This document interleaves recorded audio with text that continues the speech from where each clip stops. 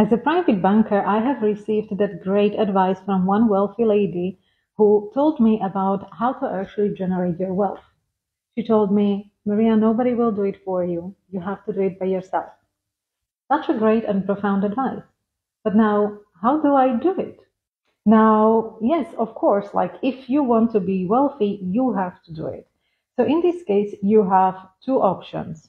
Or you currently have already money and you can actually buy an asset. Because pretty much this is exactly where it comes to, right? You have an asset and that asset makes money for you. The second way is really that you can create it if you don't have money currently, and that's okay. But what's not okay if you're just going to leave it like that? There are opportunities not only online that you can take in order to make more money, budget them well in order that you are going to actually keep the amount of the money you make.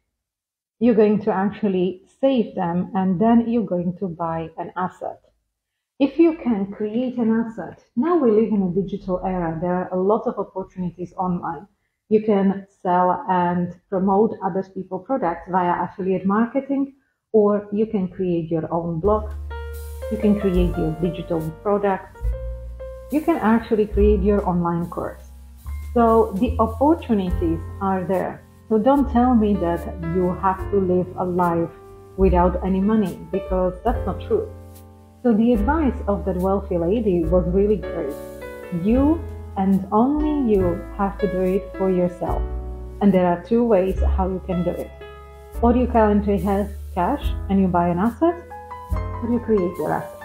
So what are you waiting for? You can start creating your asset, online asset, as soon as you stop watching this video. Follow for more.